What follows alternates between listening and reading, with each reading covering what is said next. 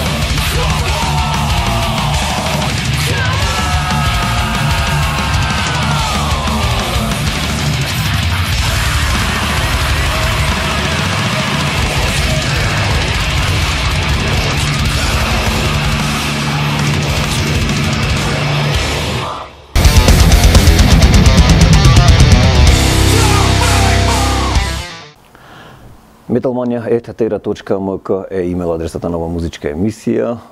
Верувам дека, нели, сте задоволни од оно што барем до сега имавте може да видите, а се разбира пред малку ги гледавте Distraction Band кој што е најавен дека треба да настапи оваа година на Explosive Stage на Exit. Тоа е стејч нели кој што е наменет за метал. Групите се разбира тоа исто така место каде што настапуваат и голем број на бендови кои што свират панк, рок или сето што се нарекува метал.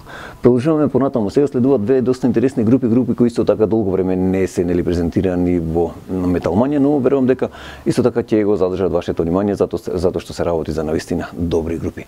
Продолжуваме со Содом, исто така бенд кој што ни доаѓа од Германија, заведнаш после тоа да ги видите и Exodus.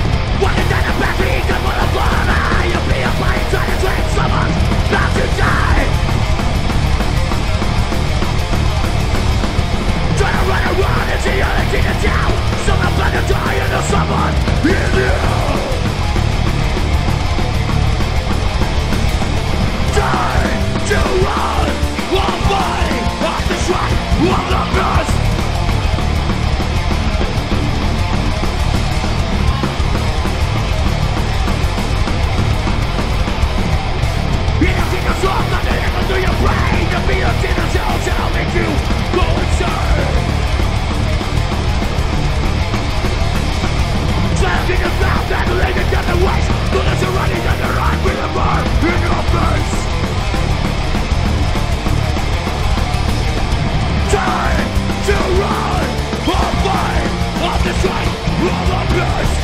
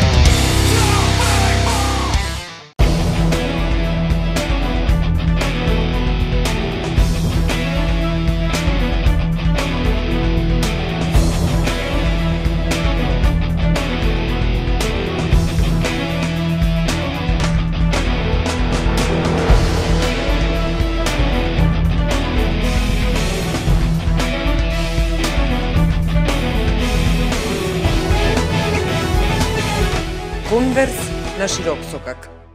Лека полека стигнуваме самиот крај на овој издание на Metal Mania, емисија која што е посветена на светската и македонската underground сцена. Оно што кажав на самиот почеток, затоа што е што е, Замп е укина нели забраната за емитување на македонска музика, така да од наредното издание на Metal Mania очекувајте ги повторно нели македонските рок групи во етерот или македонските рок групи повторно ќе ги има во музичката емисија Metal Mania затоа што тоа е таа емисија која што секогаш е поддржувала македонската рок сцена.